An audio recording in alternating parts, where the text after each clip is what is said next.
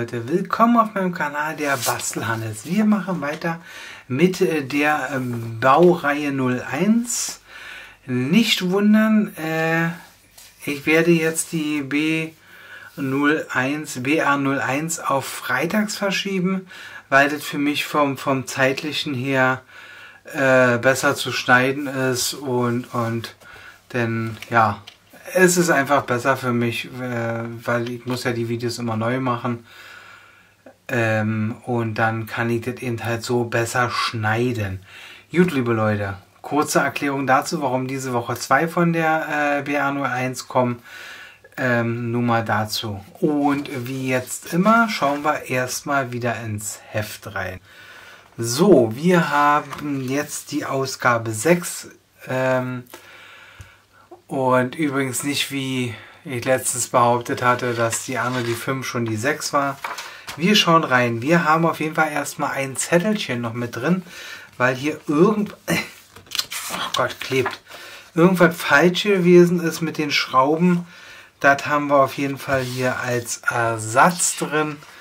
Und ja, heute bauen wir den Rest von diesen Dampfdings, da da Gedöns. Wie die Teile alle heißen, sehen wir auch gleich. Ähm, wir kauken jetzt erstmal durch. Ähm, so. Ich glaube hier bei, bei diesem Bild, das ist das jetzt, was dafür ausgetauscht wurde.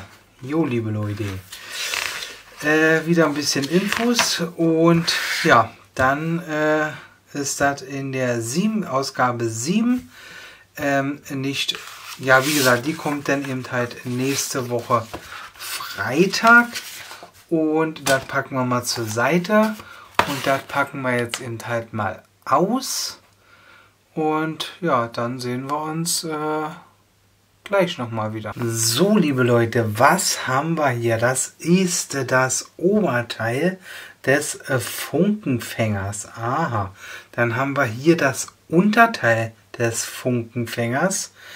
Dann haben wir den äh, Funkenfäng... Achso, das ist die Funkenfängerlippe. Das habe ich hier schon verbaut, weil mir das sonst immer wieder rausgesprungen ist. Deshalb habe ich das Ding schon gedrückt hier. Zeige ich dann her nochmal ein bisschen im Detail. Dann haben wir hier zwei, ups, wow, die wären ja beinahe weg gewesen. Zwei Griffe haben wir denn hier, zwei Handgriffe. Dann haben wir ein Rohr. Dann haben wir das Gestell des äh, Funkenfängers. Das ist das Teil hier.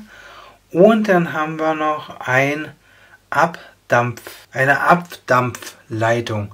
Dann haben wir noch diverse Schrauben und zwar einmal GM, DP und was haben wir hier noch? Äh, FM Schrauben. Gut, dann bereite ich mal alles vor und dann sehen wir uns gleich beim Bauen noch weiter wieder da. So, deutsche Sprache, schwere Sprache. So, liebe Leute, das sind jetzt erstmal die Teile, die wir brauchen. Und zwar ist das ganze Ding auch so ein bisschen angeschrägt. Kann man, glaube ich, so besser sehen. wenn ich das jetzt hier in einer geraden Linie halte, sieht man am besten, dass das eben halt etwas schräg ist. Das ist auch etwas schräg hier.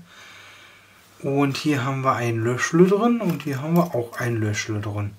Das heißt, das Ding kommt jetzt hier ran. So, dann haben wir dieses Teilchen hier. Das kommt jetzt so ja, so ja, so nicht. Irgendwie hier so herein. Gut.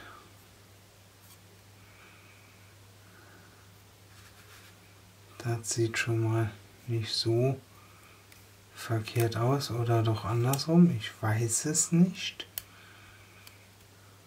Ich kann es euch nicht sagen, Leute. Nee, andersrum passt es jetzt nicht. Also kommt mit nüchtern. Oder wartet mal. Jetzt muss ich erstmal selber gucken. Also doch so rein. Gut, dann brauchen wir jetzt, äh, ich muss erstmal einen kleineren Schraubendreher holen. Dann gleich wieder da. So, liebe Leute, jetzt wird es äh, wieder ein bisschen kompliziert. Jetzt müssen wir wirklich sehen, dass wir hier äh, das irgendwie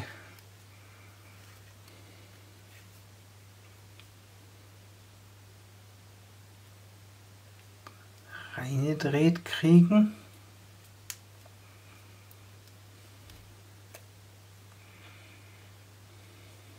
Hm.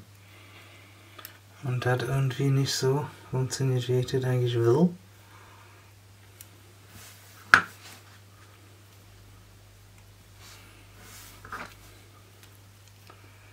Aber zumindest haben wir schon mal eine Schraube dran.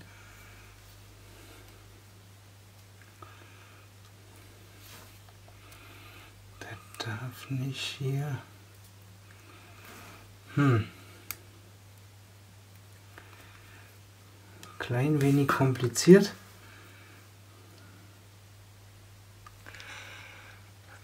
Äh, erstmal die hier schon mal ranschrauben.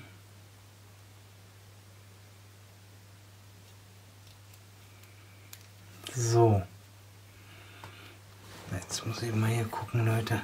So wird das festgeschraubt. Gut.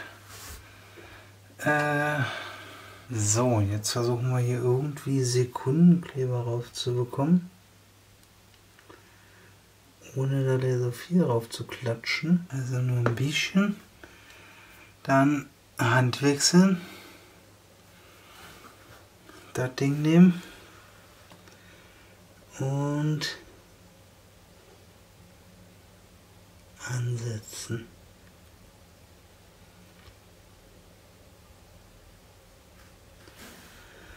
Und dann haben wir also die Eingriffe habe ich schon reingemacht. Wenn das hier mal hier drin nicht so 100% sitzt, dann einfach nochmal das Inter rausnehmen, ein bisschen auseinanderbiegen und dann sitzt es enger und besser drin. So, jetzt kommt, äh, was ich gesagt hatte. Dieses Teil hier habe ich jetzt schon äh, raufgesetzt, weil mir das Ding hier andauernd weggeflogen ist. Und festkleben wollte ich es nicht. Also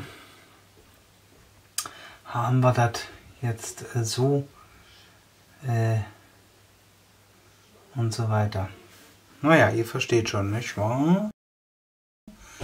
So, jetzt müssen wir nur gucken, dass wir das Ding hier, äh, hier ist jetzt noch dieser eine Schlitz, wo der nachher eingeklebt wird. Ein kleiner Schraubendreher, den kann man wegpacken. Also das heißt, hier ist das Loch. Ich zeige euch das mal hier. Hier ist das Loch hier. So. Und da ist das andere Loch. Jetzt haben wir hier, weil wir ja die Schrauben hier durchgedreht haben, äh, hier so eine kleine Aussparungen. Und das musste jetzt eigentlich hier so reinpassen. Äh, oh, ups. Da passt es schon rein. Wir müssen hier ein bisschen weiter durchschieben. Zack. Bis es nicht mehr weitergeht. Aber auch nicht zu doll. So, und dann wird hier... Ähm, Moment. Oh, brauche nochmal ganz kurz Sekundenkleber. So, Leute, jetzt habt ihr das natürlich nicht gesehen, weil ich war jetzt noch die Kamera anzumachen. Ihr müsst dieses äh, Loch hier wirklich genau ausrichten. Und dann müsst ihr versuchen, das ein bisschen so reinzufutteln, dass das so, weil diese Dings ist manchmal nicht so, so übereinstimmt, dieses Loch, was hier von diesem Ding ist. Dann muss dieses Ding vielleicht ein bisschen hoch und runter geschoben werden. Also, ja, bin am überlegen, ob ich dieses Ding hier vielleicht mit einem oder zwei so eine Düngelchens fixiere. Aber ich weiß es nicht. Aber eigentlich wird es ja jetzt hier so eingeklemmt, geklemmt. Also sprich, wir werden jetzt dieses Teil hier so Oder wir machen es andersrum. So. Da unten vielleicht erst rein.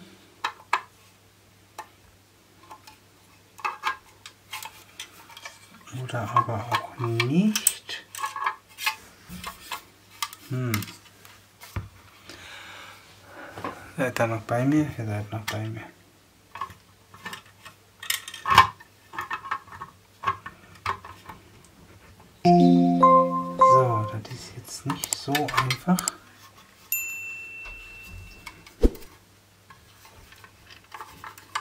Datei hier irgendwie. Hm. Reinzukommen. Oder wir müssen das Ding vielleicht doch lieber so. Ne, so rum wird es auch nichts.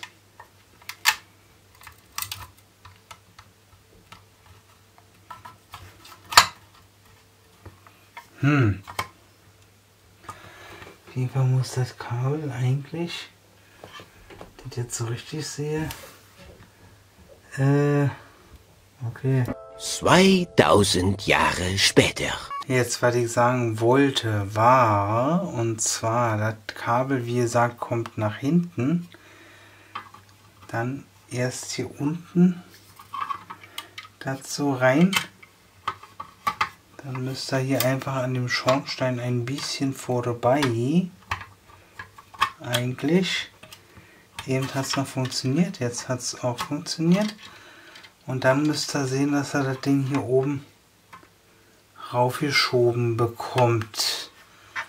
So, und dann haben wir hier genau das hier. So, und zwar kommt jetzt das Teil hier rauf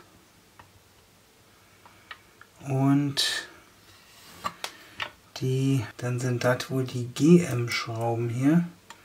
Davon brauchen wir vier Stück. Da ist auf jeden Fall ein so ein Plastikschnubbelbübbel. Und das Teil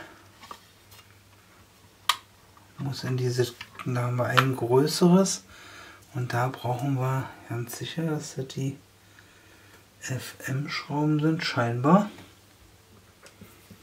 Und davon brauchen wir drei Stück. Kommen wir mal her. So, das sind jetzt die FM-Schrauben. Gucken wir mal, was wir jetzt hier zuerst anschrauben. Wow. Hab ich mir jetzt erschrocken. So. Mal gucken, der Plastikteil.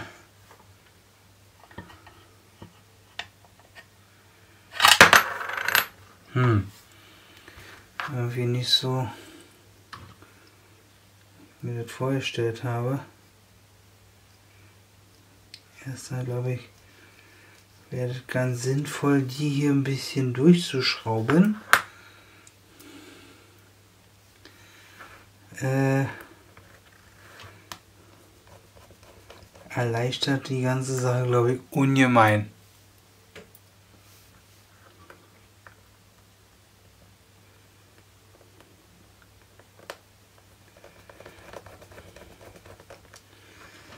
So, ein bisschen ruhig haben wir jetzt.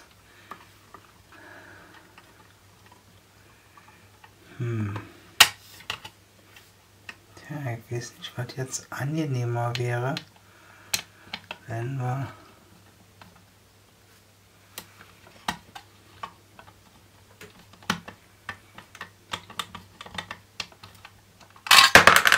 Hm. Irgendwie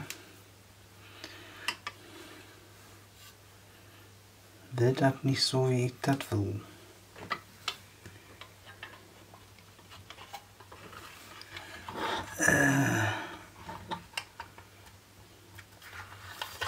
echt nicht einfach, euch das zu zeigen hier. Alles festzuhalten und zu schrauben. Hm. Okay, vielleicht sollte man doch die äußeren Schrauben als erstes irgendwie machen, dass wir hier irgendwie das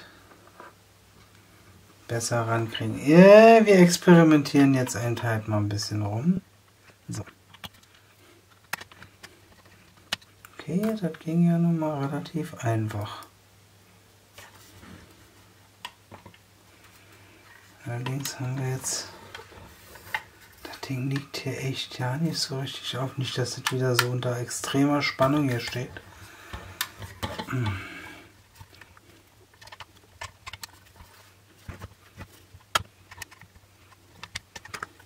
Das muss natürlich auch richtig anliegen hier. Sonst bringt das nichts. Aber ich, das muss ich mir jetzt erstmal im Detail nochmal angucken. So Leute, ähm, ja. Also jetzt steht wieder extrem unter Spannung, weil das hier äh, ja auch nicht so 100% so gerade zusammen ist. Aber die Seite geht ganz einfach und die Seite echt ein bisschen happig, sage ich jetzt mal so in meinem jugendlichen Leichtsinn. Also wirklich Leute vorsichtig anziehen das steht wieder extrem unter Spannung. Ich habe mir letztes Mal, wie gesagt, so eine Schraube, so einen Schraubenkopf um die Ohren fliegen lassen. Ähm, war nicht gerade so angenehm. Kann nur sagen, eigentlich bin ich wirklich Brillenträger. Ich weiß nicht, ob mir das Ding komplett ins Auge geflogen ist. Wäre. So.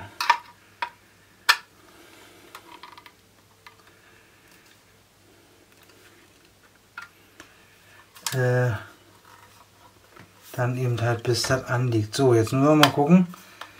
Jetzt haben wir natürlich das hier so festgeknüppelt. Jetzt müssen wir mal schön mal gut schauen, ob diese Dinger jetzt hier in das Plastik passen. So, das sieht sehr geschmeidig aus gerade mal. Jetzt kann uns natürlich auch hier das vorne das Ding nicht mehr abhauen, weil das jetzt hier doch ganz schön unter Spannung steht. Das Ganze. Aber mit den Schrauben.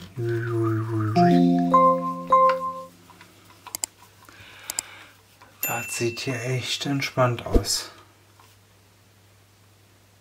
Zack. Zack.